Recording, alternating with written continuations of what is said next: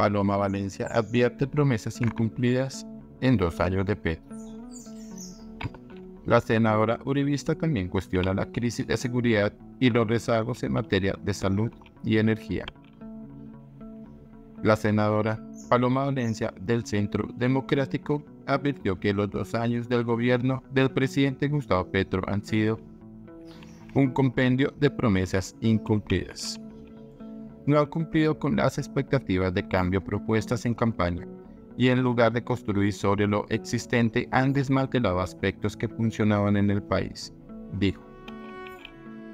Frente a la reforma pensional y los subsidios señaló que el gobierno ha prometido un subsidio de 220 mil pesos mensuales para los adultos mayores, pero indica que, aunque es esencial que los adultos mayores reciban este apoyo, esta reforma no se trata de una pensión, sino de un subsidio financiado por el presupuesto, el cual enfrenta serias dificultades debido al aumento del gasto en burocracia. En el último año los gastos en burocracia aumentaron en 9,5 billones de pesos.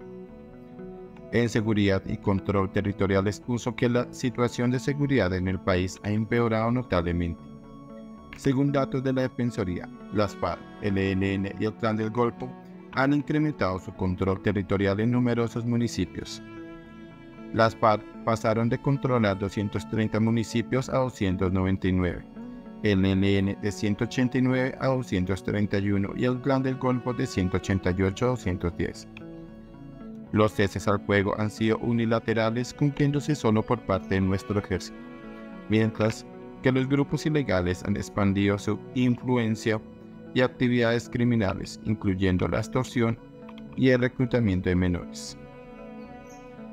Acerca del impacto económico-social crítico Valencia que la economía sufrió debido a las políticas del gobierno. La construcción, antes impulsada por el programa Mi Casa Ya, ha visto una reducción significativa, perdiendo más de 129 mil empleos en el último mes. Además, la reforma tributaria ha impuesto cargas adicionales a los ciudadanos y al sector privado, afectando la capacidad adquisitiva y aumentando la pobreza.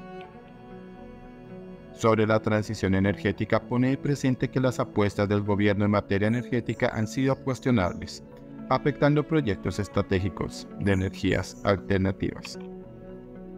Y alrededor de la salud, la parlamentaria del Centro Democrático dijo que las EPS han sido intervenidas, generando problemas en la atención a los pacientes y aumentando los costos de los procedimientos.